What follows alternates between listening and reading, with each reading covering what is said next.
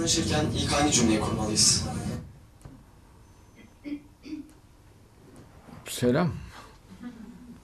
Selam diyeceksin.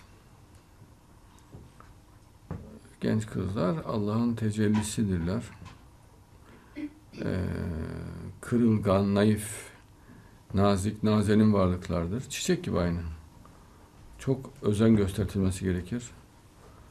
Haysiyetine, şerefine, onuruna, namusuna, dinine, imanına, ruh sağlığına, beden sağlığına, neşesine, sevincine, hepsine kefil olmak, özen göstermek gerekir.